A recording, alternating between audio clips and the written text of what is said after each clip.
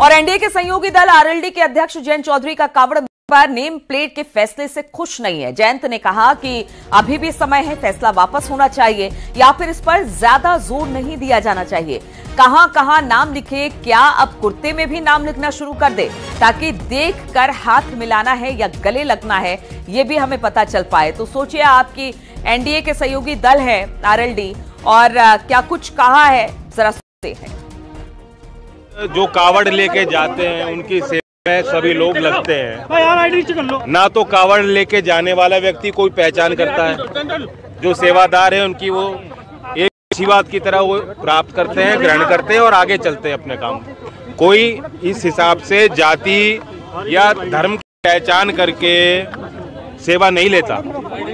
और ना ही इस मामले को धर्म जाति से जोड़ा जाना चाहिए।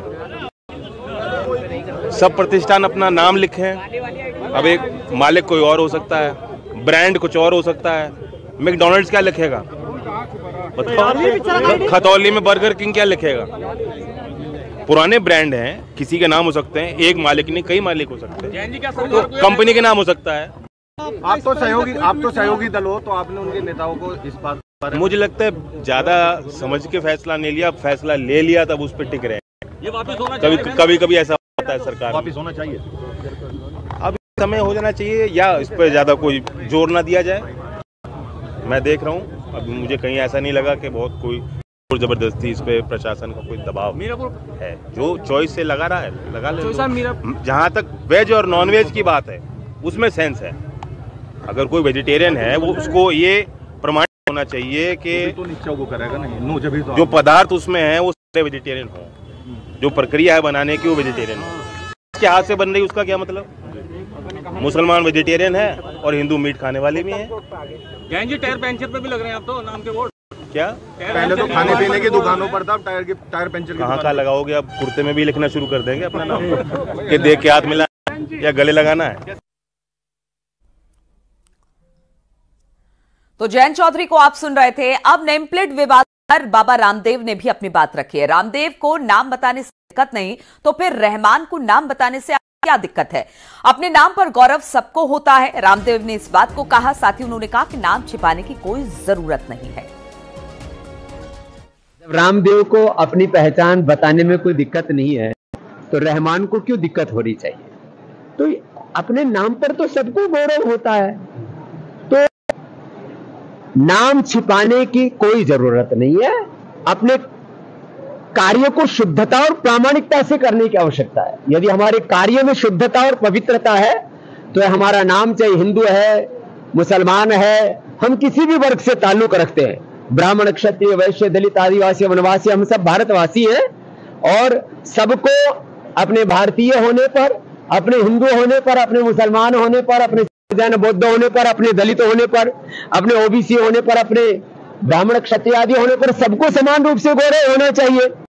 इसमें कई तरह के जो नैरेटिव घड़े जा रहे हैं, वो ठीक नहीं। और उज्जैन में भी होटल, रेस्टोरेंट और दूसरे दुकानों पर नेम प्लेट लगाने की मांग की जा रही है। उज्जैन के महाकाल मंदिर के पुजारी, अखिल भारतीय पुजारी संघ के नेता और आह्वान अखाड़े के महामंडलेश्वर अतुलेशानंद महाराज की मांग है कि दुकानों के बाहर बोर्ड लगाकर मालिक का नाम लिखा जाना चाहिए। इसकी उनकी दलील है कि उज्जैन महाकालेश्वर मंदिर के आसपास मुस्लिम है और अधिकतर होटल मुसलमान संचालित करते हैं, जिसमें कई होटल में खाना भी परोसा जाता है और कई होटल में ठहरने की व्यवस्था भी है। इतना ही नहीं, महाकाल मंदिर के मार्ग में कई ठेले और रेहड़ी वाले हैं जो फल और दूसरी चीज़ें बेचते हैं। मांग की जा रही है कि दुकानों और ठेला पर मालिक के नाम लिखे जाए, जिससे श्रद्धालु भ्रमित न हो। हालाँकि उज्जैन में इस तरह का एक साल पहले भी दिया गया था, जिसके बाद कई दुकानों और होटल के मालिकों ने आदेश का पालन किया। कई ने नहीं किया, अब प्रशासन इसे सख्ती से लागू करवाने की बात कर रहा है। श्रावण मास हमारा पवित्र मास है। जिस तरीके से इन मुस्लिम समाज के लिए रमज़ान जो एक माह के होते हैं, वो बड़ पवित्र होते हैं और उनकी पवित्रता के लिए वो सब कुछ करते हैं तो श्रावण मास में भी पवित्रता के लिए संकल्प लेता है और वो संकल्प पूरा करता है। इसलिए उसका संकल्प कहीं खंडित ना हो। इसलिए नाम शरीर पृष्ठानों पे लिखे जाते हैं तो उसमें कोई आपत्ति किसी को नहीं होना। हम सनातनी लोग हैं, मध्य प्रदेश में लगभग सात करोड़ दस लाख हिंदू रहते हैं तो उनकी भावनाओं के साथ खिलवाड़ नहीं होना चाहिए, उनके साथ धोखाबाजी नहीं उनके साथ छल नहीं होना चाहिए, लेकिन कुछ जिहादी तत्व के लोग अपने नाम बदलकर भोजनालयों में हिंदू पर तस्वीर लगाकर, देवी देवताओं की तस्वीर लगाकर और होटलों में हिंदुओं को मैनेजर बनाकर बैठा रखा है इन लोगों ने। जब उनके साथ छल होता है, उनका पैसा किसी यूसुफ भाई के खाते में जाता तब पता चलता है। तो आप अपनी ईमानदारी बनाकर रखें ना, जितने भी प्रोपाइटर है, मालिक है रेस्टोरेंट मालिक है होटल मालिक है, वो अपने मालिक के नाम और नंबर बराबर बोर्ड पर होना चाहिए। ये प्रशासन उज्जैन प्रशासन मध्य प्रदेश प्रशासन को इस ओर बिल्कुल बारीकी देना चाहिए। कुछ होटल संचालकों के खिलाफ हम लोग ने एफआईआर की है। आ, लेकिन अगर होटल संचालक तो फिर भी नहीं मान रहे हैं क्योंकि उनकी पूरी बैठक लेकर के हम लोग उनको बता चुके हैं। उन्हें काफ़ी समय भी दिया गया है कि वो लोग इस कार्रवाई को कर लें। यदि होटल संचालक उसके बाद भी नहीं मानते हैं तो निश्चित तौर पर हम होटलों को बंद करने की कार्रवाई करेंगे। क्योंकि ये आवश्यक है कि किस व्यक्ति का होटल है, कहाँ पर उसे किससे शिकायत करनी है, ये जो है सभी जो भी लोग रुकने के लिए आ रहे हैं, उनको मालूम रहे। और यूपी के बाद बिहार में भी धार्मिक स्थलों पर दुकानों के आगे अब दुकानदार नाम लिखवा रहे हैं। बोधगया में फल का दुकान लगाने वाले दुकानदारों ने अपनी दुकानों के आगे नाम लिखवा दिए। झारखंड के देवघर में जल चढ़ाने के बाद कावड़िए बड़ी संख्या में बोधगया मंदिर दर्शन के लिए पहुँचते हैं। इसलिए अब उत्तर प्रदेश की तर्ज पर यहाँ पर भी फल ठेली रेड़ी और ढाबो वालों ने अपने नाम लिखने शुरू कर दिए हैं।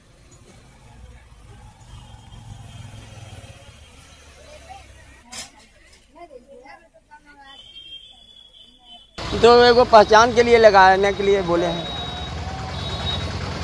पहचान के लिए लगाने की भाई कौन किस आदमी के है दुकान? किस किसका आदमी को, को है दुकान? इसका मालिक कौन है? यह है वहाँ का भेदभाव की तो बात नहीं। भेदभाव की बात नहीं। है और कावड़ मार्ग पर ढाबा दुकान या फिर ठेलों पर मालिक या संचालक का नाम लिख के आदेश पर सियासी घमासान तो मचा ही है। मामला अब अदालत तक जा पहुँचा है? यहाँ पर जमियत उलेमाए हिंद ने लीगल टीम की बैठक बुलाई और कोर्ट जाने की तैयारी में है। वहीं पश्चिमी उत्तर प्रदेश में कावड़ यात्रा शुरू हो चुकी है। कावड़िए दिल्ली, देहरादून हाईवे से हरिद्वार जा रहे हैं। इस मार्ग पर दुकानों ढाबों पर कई जगहों पर लोगों के नाम लिख दिए गए हैं। कई जगहों पर नाम बदलने के लिए पैतरे भी लगा रहे हैं। लोग अपनी दुकान में हिंदू बना रहे हैं और नाम बदलकर हिंदू नाम अपनी दुकान में लगा रहे हैं।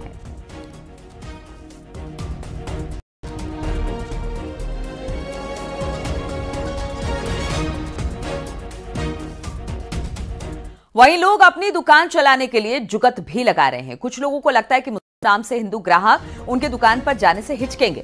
लिहाजा एक चाय की दुकान वाले ने अपनी दुकान में हिंदू दोस्त को पार्टनर बना लिया। मुजफ्फरनगर में दिल्ली देहरादून नेशनल हाईवे अट्ठावन पर शमीम नाम के व्यक्ति ने डे नाइट कैफ़े के नाम से चाय की दुकान शुरू की। जिसका नाम अब बदल दिया गया और नाम रखा गया शमीम सैफी टी स्टॉल। साथ ही शमीम ने अपने दोस्त को दुकान में पार्टनर बनाया और अपने पार्टनर निखिल का नाम भी बोर्ड पर सहयोगी के तौर पर लिखवा दिया। निखिल का कहना है कि शमीम उनके पुराने दोस्त हैं।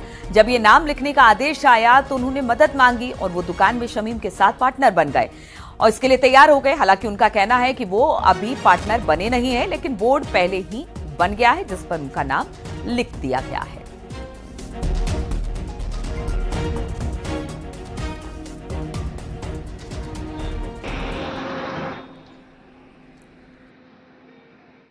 के शख्स की कैंटीन थी। वो मेरा दोस्त है। कहाँ पर भी ये आपका राणा चौक के पास। ठीक है टी स्टॉल है। तो वहाँ पर थोड़ा कावड़ वो चल रहा है मौसम। तो उसके हिसाब से उसने भाई ने भाई ने मेरे से बोला कि भाई इसमें से मेरा सहयोगी बन जाए। ठीक है तो दोनों भाई कर लेंगे साथ में। उसने फिर मेरे को बोला कि पार्टनरशिप कर लो। तो मैं पार्टनरशिप के लिए भी तैयार हो गया। अब दो चार दिन में मेरी पार्टनरशिप हो जाएगी। और जो बोर्ड बनवाने के लिए पुलिस प्रशासन ने कहा था वो बोर्ड बन चुके हैं। क्योंकि पहले ही बनवा लिए।